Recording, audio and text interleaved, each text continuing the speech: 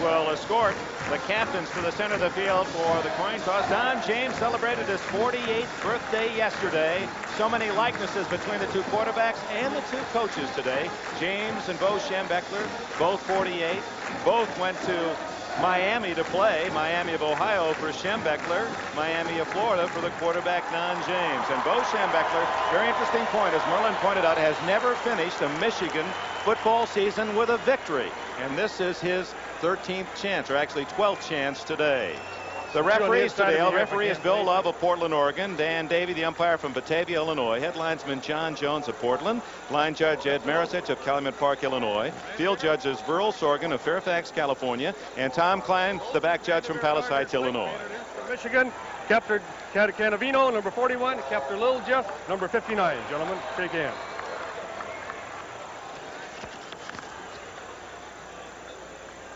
Michigan is the visitor today.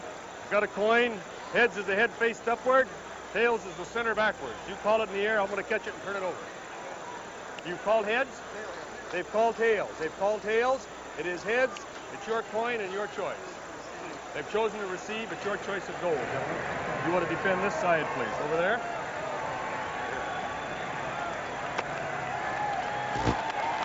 Good ball game. Thank you. Now the Huskies of Washington will get the ball first. At the goal to our left, the northern goal. There is a slight breeze out of the south that will aid the team moving from right to left. Don James team 9 and 2. He is now the dean of the Pacific 10 coaches, as is Schembechler, the man in longest uh, employment in the Big Ten coaching crew. I'll tell you a little bit about the dangers of the coaching profession, won't Dick? That's right. James in his sixth year already the dean of the West Coast coaches. The maize and blue with sophomore kicker Ali Haji-Sheikh, and he'll be kicking it deep. Anthony Allen has been returning most of the kicks this year for the Huskies. Nine and two identical records. Wolverines ranked fifth, and the Huskies down in the second 20, or second 10 in the top 20 in the country. One of the things we'll have to be alert for throughout this day, in the big victory three years ago by the Huskies over Michigan, they really pulled out all the stops. They threw everything but the kitchen sink at Bo Schembechler's team. And I think uh, you're liable to see some of that today. We may even see it on the opening kickoff or in the first series. 15, Anthony Allen, and Aaron Williams, 91 deep for the Huskies. It's a long kick. Haji-Sheikh sends it halfway into the end zone where Allen will take the touchback. Set the Washington offense for you as Tom Flick, the senior from Bellevue, Washington, brings his team onto the field. Flick at quarterback. We'll have at the running backs Toussaint Taylor and Kyle Stevens. Two sophomore wide receivers, both excellent, Aaron Williams and Paul Skansi. The offensive line. Bale, the tight end, is the leading receiver with 36 catches. Vanderveer, Curtis, Riley, Carter, and Marsh. Basically a senior offensive line for Washington. Two huge tackles. Both those tackles, 280 pounds. They are giants. Out of the eye from the 20-yard line. Stevens in motion. Flicks the throw. Dumps it to Stevens. And he gains three. Good coverage by the Wolverines. Andy Cannavino, the captain and inside linebacker with a tackle. The defense for the Michigan Wolverines. A three-man front, Krivak, a top player, Jeff Shaw, the only freshman starter, Winfred Caraway, Mel Owens on the outside, Paul Girgash and Andy Cannavino inside, and Robert Thompson. He's got great speed, one of the outside backers. Second down and seven.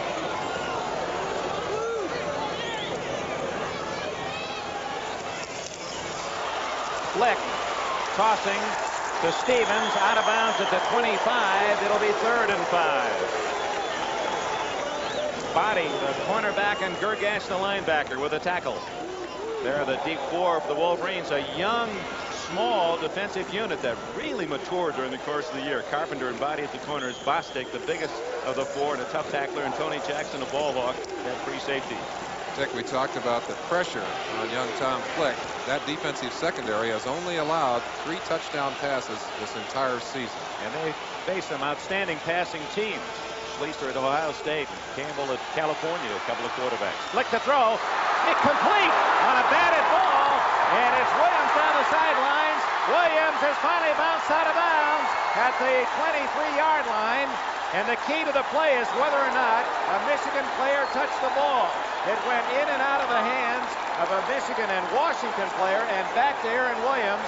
If a Washington player touched it last, well, let's see. The ball actually is going to be like, ruled incomplete. It looked like a ball batted definitely by the defender back into the hands of the receiver. So the ball will come back for the penalty call, but it will not be on the on the catch. It will be on the line of scrimmage.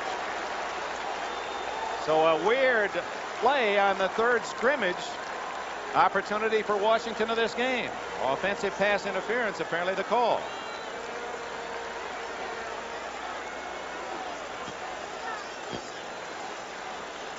Yeah, we're going to get the signal after they might go off the penalty. It's going to be a 15 yards. Yep. Down to the 13 to the 12 yard line. Offensive oh. pass interference. Okay. Loss of down. Fourth down. That is the toughest penalty you can absorb in football. Loss of down plus 15 yards. Flick back, gets time to throw that football. There you see the bat. That ball batted back into the hands of the receiver, but as we told you, it will all be called back because of the pushing call earlier, offensive interference.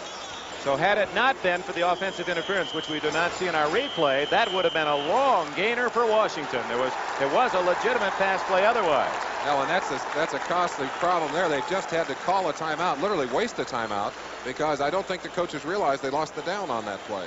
So it is fourth down and long, 18 yards for Don James Huskies and Rich Camarillo, their punter, averaging 38 yards a punt will kick it to the dangerous number one of Michigan, Anthony Carter. As we look at Carter, you'll notice he's one of the Wolverines. Well, on the uniforms they're wearing today, many of them do not have the numbers on their back, but they don't put his number or his name on his back because he uses the tearaway jersey. In fact, they have a dozen number ones available for the game today just in case. But only one Anthony Carter. That's right.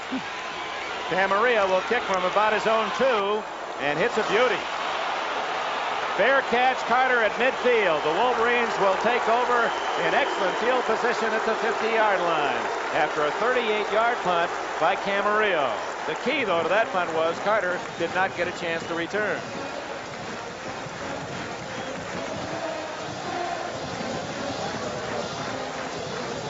For the Michigan Wolverines, it's John Wangler, senior quarterback, Stan Edwards, Butch Woolfolk, the running backs. Anthony Carter will be watching him closely, and Allen Mitchell, the wide receivers. We'll check the offensive line after this play. From midfield, Wangler. Incomplete to Butch Woolfolk. Broken up by number 40, Ken Driscoll. The offensive line for the University of Michigan, and as we indicated earlier, a huge five-man unit. Norm Betts is the tight end. Then you have Muransky, Becker, Lilja, Powers, and Paris. All five of those men from tackle to tackle made at least one All Big Ten team. And Lilja, some of the All-America teams, including the Walter Camp All-American team. Second and ten.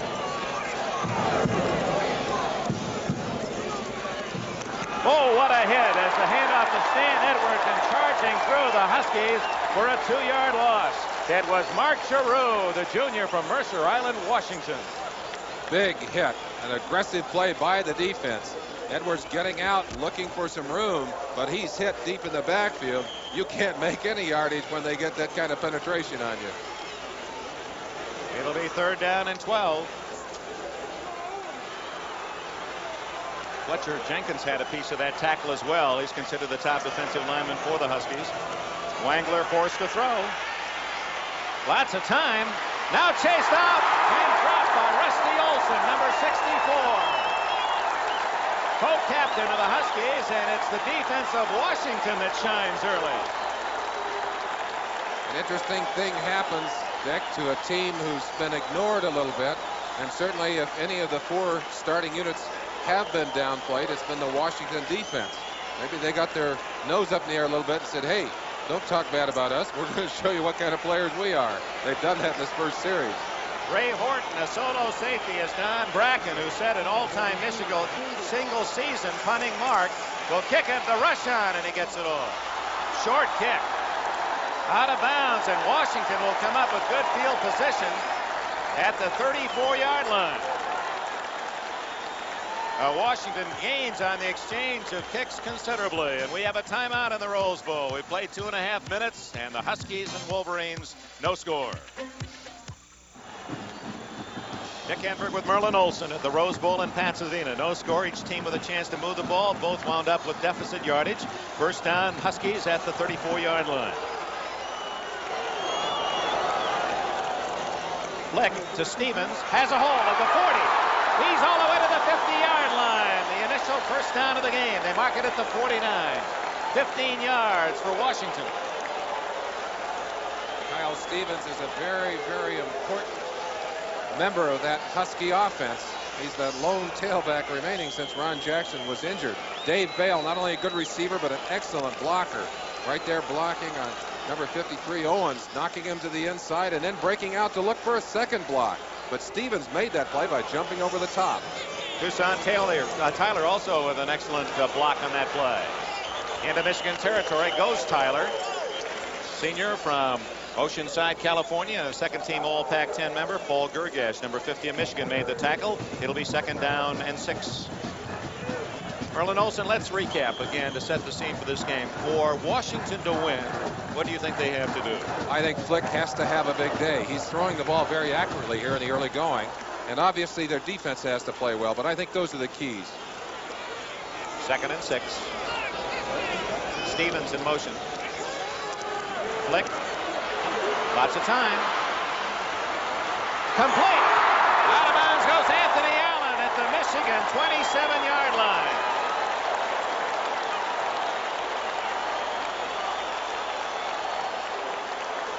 Twenty yards on the play. One of the questions I had in watching Tom Flick work in practice was did he have the finesse to throw this pass, which is over the top, waiting until he has just the right opportunity, drops it over the defender Carpenter right into the hands of his receiver Anthony Allen. That's a fine play, and they're going to have the first opportunity to score in this game. The two flankers for Washington, Skansi and Allen, had 61 catches between them. Stevens, big hole. And he gets to the 22-yard line. A gain of five as Owens and Cannavino closed in uh, on Stevens when it appeared he'd get much more. Mike Riley with a great block. You can see why the Washington fans have really enjoyed watching this young man perform. He reads the opening quickly back to the inside. That's great acceleration. That's what you need when you get room inside, the ability to pop into the open quickly, and then you saw him extending for the extra yardage. He's impressive here in the early going. Second and five. Washington has driven to the Michigan 22. Flick. Open. First down is Ron Blacken, number 17. Washington is at the Michigan eight-yard line. One of the things we're seeing here early, that Washington offensive line is giving Flick time to look for the open receiver, and he's not wasting those opportunities. Ron Blacken, who survived a near fatal auto accident five years ago, at 13 catches this year, he's placed Washington first and goal at the eight. Allen in motion. Tyler. Tyler to the four-yard line, and he just ran right over his own blockers. Cannavino was in the midst of the defensive charge for the Wolverines, along with Keith Bostic and Brian Carpenter. Bo Schembechler said early this week that the thing that had impressed him about this Washington team was the way they balanced run and pass. And they've certainly done an excellent job of mixing the run and the pass on this drive. Toussaint L'Ouverture Tyler is named after a Haitian hero, his family from Haiti. Second and goal at the four. Tyler gets only a yard. Stacked by the center of that tough Michigan defense. Winfred Carraway, Mike Trgovac, Jeff Shaw and company. And now a tough call on third and goal at the three. Bo Schembechler. It's been a new personality for Glenn Bo. Don James in his easy style celebrated his birthday yesterday, and you, you just see him a little hope in his face in that, that reaction. He has a new five-year contract with the Washington Huskies. he might trade that for a touchdown right here. I bet he would.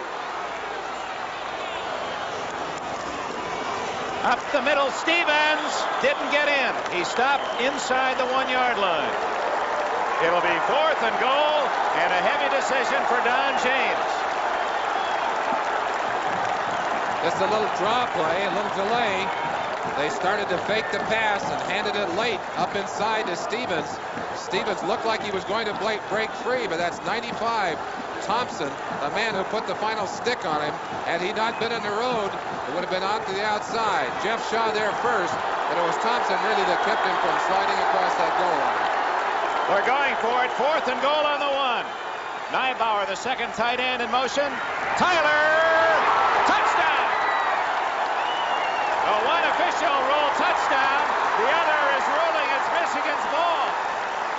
I think the ball was fumbled, and it's a question of whether or not he was in the end zone, whether the ball had broken the plane of the end zone before that ball came loose. Goodness, two years ago, Michigan was beaten on a phantom touchdown. Charles White on a similar play. This time, despite the fact the official on the far side signaled touchdown, the official on the near side said, no, sir, it was not a score. We talked about the gambling nature of the Washington Huskies. Don James doing exactly that, going for broke, wanting the seven points. I think he knows he may not get that many chances to score, and there you saw the ball popping loose as the uh, as as the ball carrier, that's Tyler, goes up over the top. The ball bounced cleanly loose.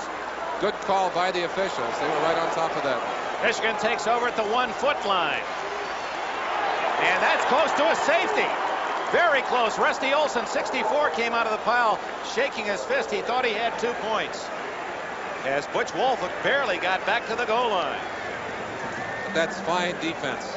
Let's let's pat that Michigan defense on the back.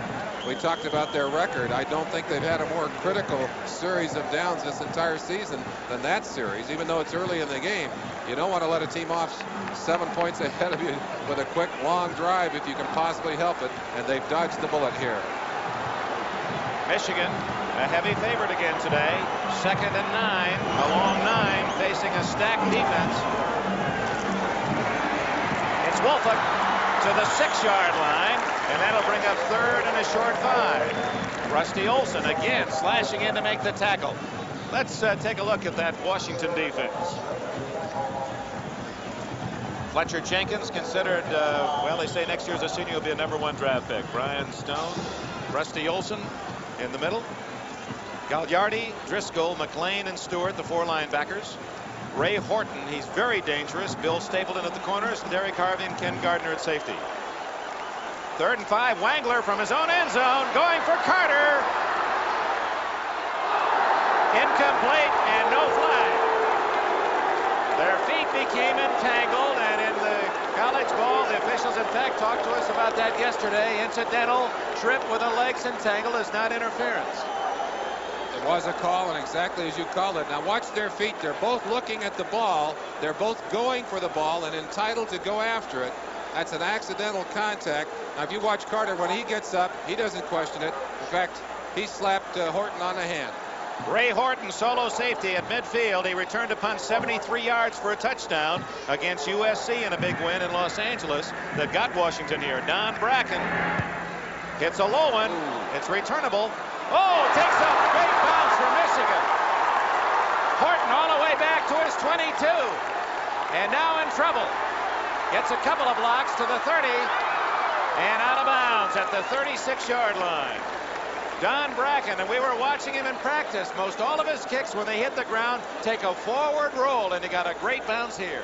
I think that's why they made the ball oblong. What looks to be a very bad kick and a very returnable kick suddenly becomes a great offensive weapon, defensive weapon, as it sends Horton way back to the back of his own field. He does some nifty running back there, tacks it up the sideline to gain a little bit of yardage back. 73-yard kick by Bracken. That'll be the longest in his career. No score. Washington with the ball. No score. Michigan and Washington first quarter. 6:41 remaining in this period. Washington with the ball at the 37-yard line. That was, by the way, a Rose Bowl record. The punt by Bracken. Flick brings Skansi in motion. Back to throw under a blitz. Tipped and almost intercepted by the Wolverines. Marion Body, number three, flying up to try to get that deflection. Unfinished business. Don Bracken's kick of 73 yards officially breaks the Rose Bowl record, long-standing record that goes back to 1919 when Abra Abramson kicked a 72-yarder for Great Lakes Navy. Layden of Notre Dame and Coat of USC, all with 72-yard kicks, and Don Bracken's 73-yard punt, a new Rose Bowl mark.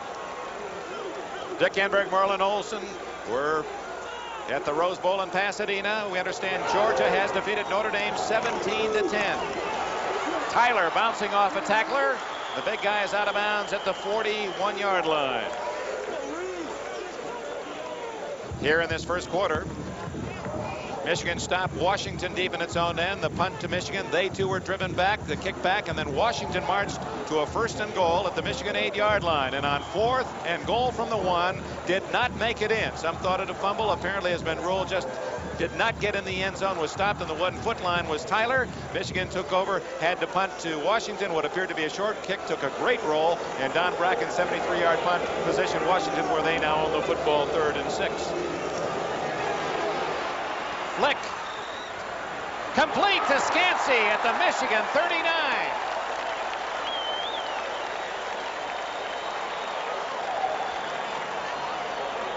Twenty yards for Washington and a first down. I think we talked about the similarities between the two quarterbacks. One of the differences in the two quarterbacks, I think Flick has the stronger arm of the two, and he used that strength to deliver that ball right on target. This is a perfect pass. Again, something we talked about early. Lots of time to throw the football, but watch how accurately that ball is thrown. Oh, he dropped that right in a teacup. First down. Kyle Stevens smothered at the Michigan 37 after a gain of two. One of the special players on this Michigan defense, number 41, Andy Cannavino, leading tackler by a huge margin, almost two to one over anyone else. Cannavino reads the play excellently, flows to the ball, and has a piece of the tackle along with Girgash, number 50, the other inside linebacker, who's the number two tackler. But he's their leader. Bo talks about him as the most important man on a very important defense. And following some Rose Bowl heritage, we'll tell you about that as time permits. On second and eight, flick to throw. Incomplete. Shooting it for us Wide receiver Aaron Williams cutting across the middle. Back to Cannavino. His father also played here in Pasadena in the Rose Bowl for Ohio State and intercepted two passes in the 58 game when the Buckeyes beat Oregon 10 to 7. Cannavino was a little upset that Woody Hayes didn't uh, offer him a scholarship with the Buckeyes, so he went to Michigan and has become a star with the Maize and Blue. Oh, you'd like to go back and rethink some of those decisions, wouldn't you? Can't always be right, can you? Woody made a lot of right decisions. Third and eight. That's a triple left formation for Washington. Going deep. And no flag as Brian Carpenter had Aaron Williams well covered. Same kind of collision we saw moments ago. And again, the call actually a no call because it was ruled to be incidental and not intentional. Williams a flyer, and he has been their game-breaking receiver. Has not caught many more passes than anyone else, but they've often been deep. There you see the legs in contact right there with Brian Carpenter, both to the ground, but they're both running openly for the ball. The official did not pull the flag. A good no call. Camarillo, the punter. Carter on the near side. Kenny Gear on the far side, very high. And Washington can't down it. They had a chance. Now that's a ball they could have caught because there was no Wolverine near the ball. They elected to watch the ball drop and it goes in the end zone. The Wolverines will have the ball first down at the 20 when we return. 5.26 left. First quarter, no score. Happy New Year, everyone. Dick Enberg and Merlin Olsen uh, here at the Rose Bowl. Set the scene for you in case you joined us late. Michigan, of course, the favorite, but Bo Schembechler, their head coach, has never won the last game of a Michigan season in 11 years, and five of those losses have been here in the Rose Bowl looking for that first win. Anthony Carter, a man who might help him get that first victory, but he's toppled at the 22 after a short gain as he came in motion as he would normally run a pass pattern, then looped into the backfield, Merlin Olsen, and took a pitch on a sweep. I think one of the secrets for Michigan today is getting the ball into the hands of Anthony Carter, number one. They'll do it in many ways. This is a new wrinkle. Bringing him in motion, he slides into the position of a back. They flip the ball back to him, and you see he's he's absolutely fearless carrying the ball. For a 155 pounder, he is amazing. Wangler at the 22, no score. Butch Woolfolk to the 25, and it's a swarming Washington defense. Merlin, let's go back and review your comments in our pregame set as to what Washington has to do to beat Michigan today. The Washington Huskies almost a two-touchdown underdog. I really believe that they have to have a hot day from Tom Flick, their quarterback, and they have had that. He has been the outstanding player on the field so far. And their defense must play well. And their special teams must play well. The special teams have played well. And the defense has been the most surprising part of this game. Third and five. Michigan does not have a first down. Wangler, time to throw. And he's got it. First down to his tight end, Norman Betts, at the 32-yard line. Mark Stewart with a tackle. And that at the four-minute mark of this first quarter, 11 minutes played, is the first Michigan first down. Norm Betts made a couple of big catches in a similar situation to that against Ohio State. They like to get him dragging across the field underneath when people have cleared out. Does a good job here of finding a little open room. Mark, Mark Stewart, number 38, the man that's covering him. That's a good pass and a good catch. Betts an academic All Big Ten first team member the last two years. Woolfolk on a draw. He's at the 40, the 50, and all the way to the 43 of Butch Woolfolk.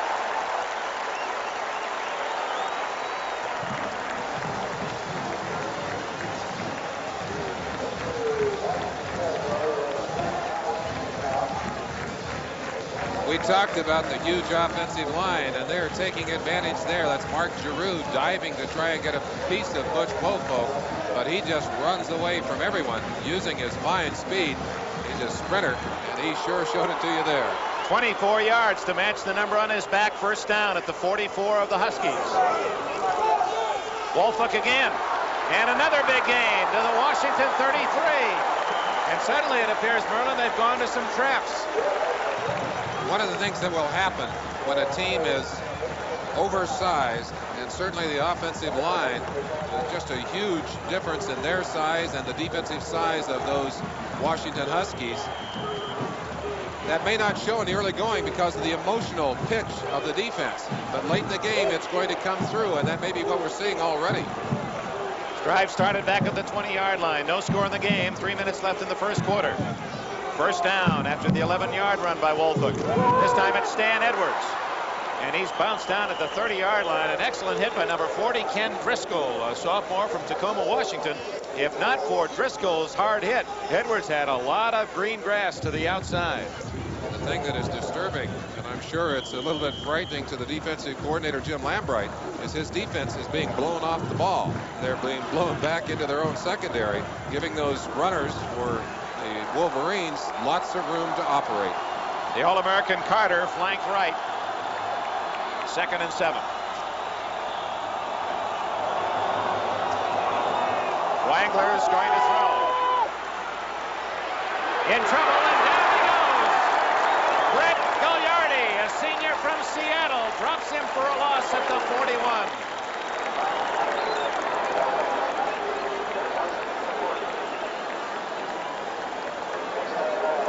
Interesting and uncharacteristic call from the Michigan bench. Of course, the plays are sent in from the sideline, and when the running game is going, you would expect a team that has made its name as a running team to continue to run. Instead, Wangler goes back to pass, pays the price to a fine defensive play by Gagliardi. We should point out that Wangler, recovering from very serious knee surgery, you can see he's not very mobile.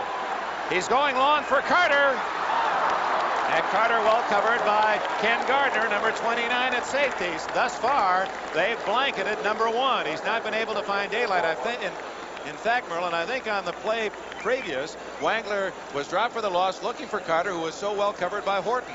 They have put Horton man-to-man -man on Carter, and they're using some zones to try and cover the rest of the field, and it has been very effective. They know they have to keep the football away from number one. Anthony Carter, 46 catches, had 13 touchdown receptions this year. It's Bracken to kick. Ray Horton stands at the 10-yard line for Washington. Pooches it, and it's a good one. Michigan will down it at the three-yard line.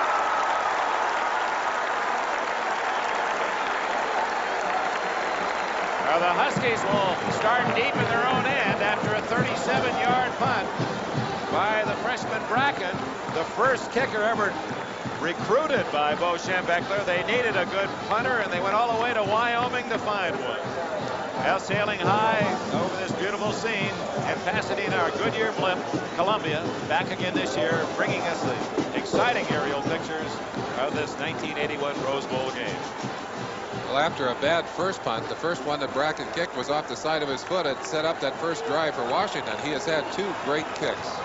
Including a Rose Bowl record 73-yard punt. Flick to Tyler, running room. Tyler to the 15 and a first down, 12 yards before Brian Carpenter, number nine, could make the tackle. Toussaint Tyler, an explosive runner the importance again of getting into the line of scrimmage, getting into that secondary quickly. You see the acceleration, and that's a power hit on Tony Jackson right there. Toussaint just unloaded on him. That gives Flick some room to operate. First down at the 15. Clock running down to the one minute mark left, first quarter.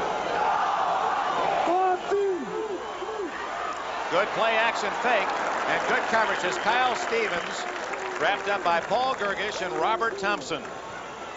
Gain of two. Robert Thompson has been all over the field today, the swiftest of those linebackers for this Michigan defense. He's one that we'll keep our eyes on because he certainly has the ability to make a big play defensively. Passing situation. Michigan will loosen that defense. Skansi to the right. Anthony Allen left. And Flick will throw out of the backfield. Or actually, the tight end Vale, David Vale, to the 26-yard line. First down, Washington. Every defense has a weakness, and Michigan has been willing to give some room in the short outside areas against the pass. This is a delayed pattern to the tight end coming across. He's got a lot of room, and he takes advantage of it. Does a good job of running with the ball for the necessary yardage for that first down.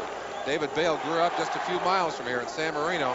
Been a good homecoming from him. What a fine year he's had. Went to Pasadena City College, so he is back home. Played on the junior Rose Bowl team. Flick on a roll, has a man. Allen down at the 37. That's near another first down. But Washington has had no trouble moving the ball, especially through the air. Problem is they have not been able to get any points on the board. And often uh, if you are successful moving the football and cannot capitalize with points, that really takes a lot out of you in the first part of a game. They need to get something at the end of a drive. And they've been very good at that during this year, Dick. You're right, Merlin. An uh, opportunistic team they have been inside that 40-yard line.